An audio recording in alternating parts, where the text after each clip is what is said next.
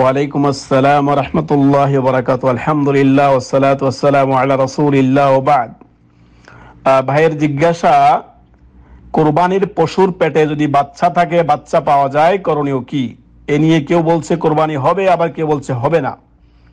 জনগণের মধ্যে এখন ইখতলাফ সৃষ্টি হয়েছে, করণীয় কি? দেখেন, এক্ষেত্রে ইখতলাফ যখনই হবে, আপনি সরাসরি আল্লাহ এবং তার রসুল সাল্লাহ আলি সাল্লামের দিকে চলে যাবেন।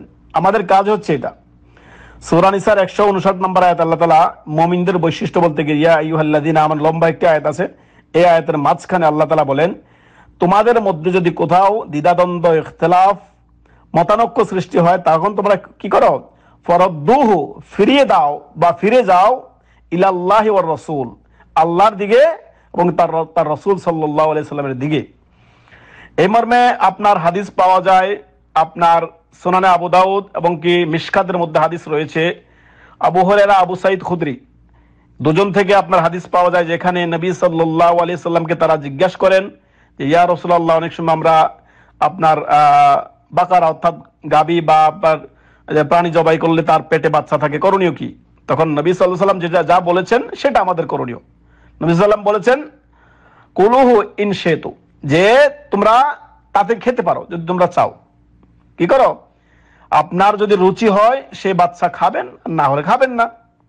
স্পষ্ট, আপনার কোরবানি হয়ে যাবে, কোরবানিতে কোনো সমস্যা নেই। তবে উত্তম হচ্ছে যখন আপনি জানবেন যে পশুর পেটে বাচ্চা আছে, তখন আপনি স্পষ্ট, আপনি উত্তম পশু বিকল্প আপনি খুঁজবেন।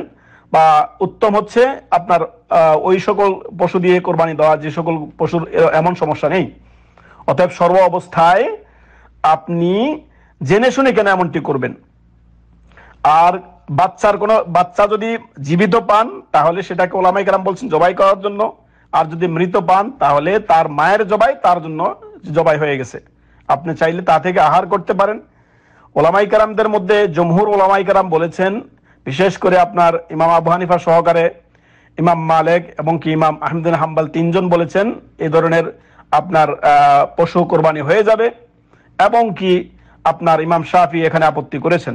অতএব সর্ব অবস্থায় এই ধরনের পশুর কোরবানি হয়ে যাবে, এতে কোনো অসুবিধা নেই, তাকে পুনরায় কোরবানি দিতে হবে না। জমহুর ওলামাইকারে আমাদের মত বললাম যে তারা বলেছেন কোরবানি হয়ে যাবে। এক্ষেত্রে নবী সাল্লামের একটি হাদিসও পেশ করেছে এখানে, যেখানে নবী সাল্লাম বলেছেন, তোমরা যদি তোমাদের যদি তবে যখন পশুর পেটে বাচ্চা থাকে, গোস্তর স্বাদ কমে যায়। আপনি জেনে শুনে এমনটি কেন করবেন? তবে এখানে আপনার যারা বলছে কোরবানি হবে না ওই সমস্ত মুফতিদেরকে বলেন যে আপনার না জেনে যাতে আপনার ওস্তাদের করতে না যায়। কেননা শরীয়তের বিধিবিধান বলতে গেলে আল্লাহ এবং তার রসুল সাল্লাহ সাল্লামের পক্ষ থেকে সাইন করা, অর্থাৎ হালাল বা হারাম, জায়েজ না জায়েজ, এটা মানুষের পক্ষ থেকে আসে না। আল্লাহ এবং তার রসুলের পক্ষ থেকে আসে। অতএব সতর্ক সাবধান, ওই সকল যারা এমনটি বলছেন। কোরবানি হয়ে যাবে, কোরবানি পুনরায় করার কোনো দরকার নেই। অতএব আপনার এ নিয়ে দ্বিধাদ্বন্দ্বে থাকার কোনো কিছু নেই। আপনার তিনার কোরবানি, শুদ্ধ কোরবানি, অশুদ্ধ হওয়ার জন্য যেই যেই আপনার বিষয়, তার মধ্যে এটা পড়ে না। আল্লাহ আলম বারাকাল্লাফিক সালাম আলাইকুম রহমতুল্লাহ।